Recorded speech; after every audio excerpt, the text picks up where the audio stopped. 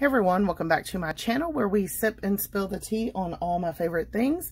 Before we get into today's video, what am I sipping on? I'm actually sipping on a bubbly um, blackberry um, over ice and then I steeped up this, it's like Kroger's brand of tea. Um, it's like a fruity one.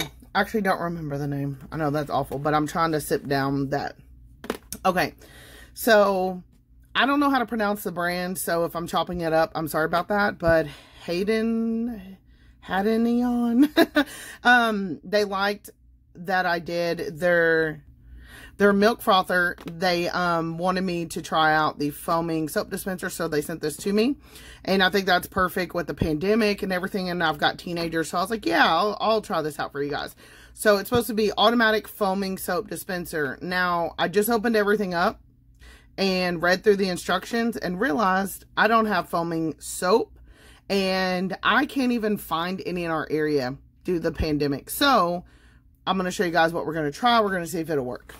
Here's the specs on the side in case you need to see that. It does have a little infrared sensor in there. And let me show you guys the dispenser. So here's what it looks like. It's really nice and sleek, very modern looking. And underneath here, you have your infrared sensor.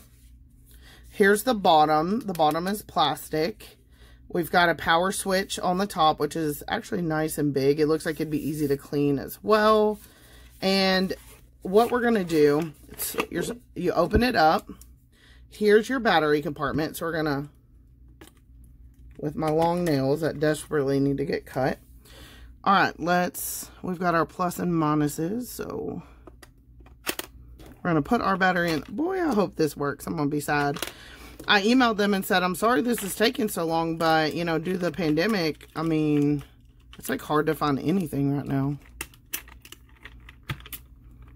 Long nail problems. All right, so we put the batteries in, and next, we're going to use, I have some Walgreens hand soap. So that's what I'm going to try to use and see if that will work. Included in your package, you do get like a frequently asked questions sheet. And then, of course, your user guide. And it's got like step-by-step -step picture. So I kind of read through there, so hopefully it'll be okay. Um, They do have a list of hand soaps in here that they like recommend which is pretty cool. So I've been looking for the dial one, but it's been hard to find at our store. So hopefully I can find one of those.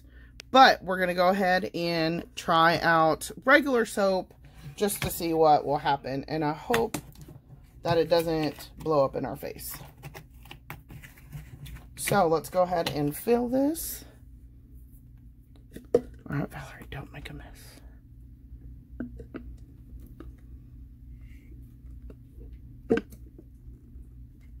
Why are, oh. All right. I don't think I'm going to fill it all the way up just in case it doesn't work. So I think just putting that much in there for right now, you know, because we don't really know what's going to happen. And I figured you guys would ask anyway, like, well, what would happen if I put regular soap? So I was going to do it anyway. So let's go ahead and head to the bathroom and all turn right, this so on. So here we are in our bathroom. And here's the old school, like traditional soap dispenser we have. So let's try out this one here. Let me try to get a good, good angle for you.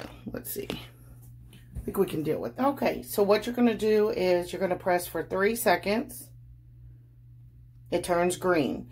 This is now on the low foam mold. If, mode, not mold. if you guys want to go to high foam, you just tap it one time and it turns red. Tap it again, it goes back to low. So then we're supposed to put our, oh. Maybe it doesn't like, oh! Okay, maybe. In the frequently asked questions, it said something about if you're going to use regular detergent, add two to four times the water. So I just did that. I'm thinking that it just is not made for the thick soap. So let's see if that works. See if we can get it to... Nope. All right, let me try some. For the purpose of the video, the, the soap clogged the little tube. So I did have to remove the tube and clear it out. So they're not joking about that. All right, let's try it again. Come on. You can do it. I think it's just got to be the foaming soap. And I know what y'all are thinking. Well, Valerie?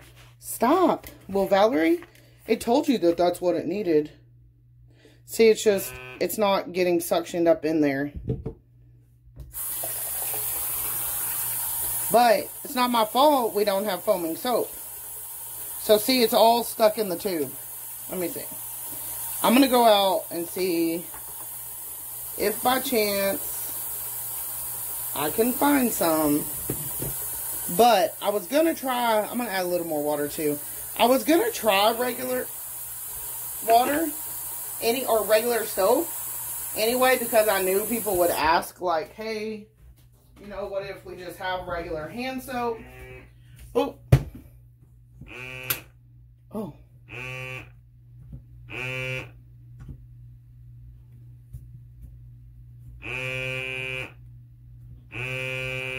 Put it on high, seeing if it'll suction. Alright, guys. It's not going to work with regular soap. So, we're going to flip. By the time you guys see the next part, I will have already went to the store and found some foaming hand soap. Alright, here we are an embarrassing amount of weeks later. But we finally got some foaming hand wash. So I just got the Equate. Like literally this is all our store had. So I'm going to pour this into the bottom and we're finally going to see if it works. Okay, so this is how much liquid I got from just one bottle. Ooh. Screw it on. Oh, please. It's trying to get me already. Okay. It's been on this whole time. All right, let's see. Oh. It is, look. Let me wash this off. It doesn't come out as foamy as the Equate, but it's not their nozzle. But this is a foaming hand wash. And it does seem to be richer in lather. Like um, when you disperse it out of the Equate one, it's more airy and light, but this has a nice lather to it. Let me see. I don't know if y'all can see. It's almost like shaving cream. I really like that. I keep washing it off just to do it again like a little kid.